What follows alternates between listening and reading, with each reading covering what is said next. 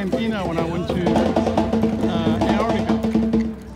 But this is a uh, statue commemorating uh, the discovery of Straits of Magellan. That is not Magellan, but uh, it is some Chilean general.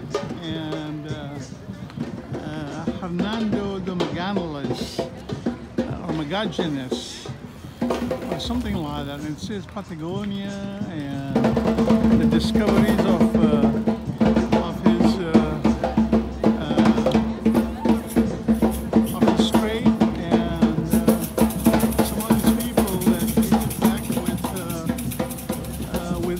Uh, well, his uh, ships took back as a reward or a prizes, or I don't know what to say to, for a gift to the king.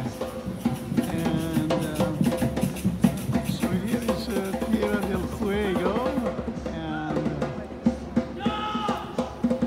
here is Tierra del Fuego. These people do not know how to take photos, and. Uh, and this one guy was just sitting at the base of the statue. You would think he would move somewhere else. Not everybody wants to have his photo taken. And, uh, or him in the pictures of the statue.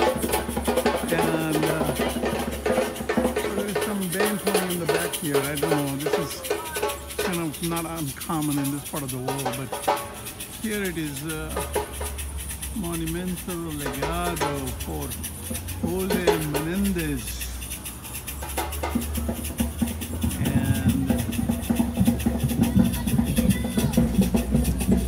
so it commemorates uh, the fourth century of the discovery. So now this is almost 500 years. So uh, this statue was put about 100 years ago. And, uh, and then this uh, uh,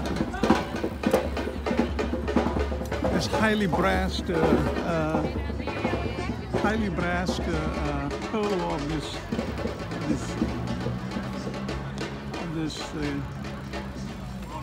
statue, Indian, which is supposed to bring good luck and brings you back to to Chile or Tierra del Fuego. And, I mean, that's what it says. Anyway, c'est la vie.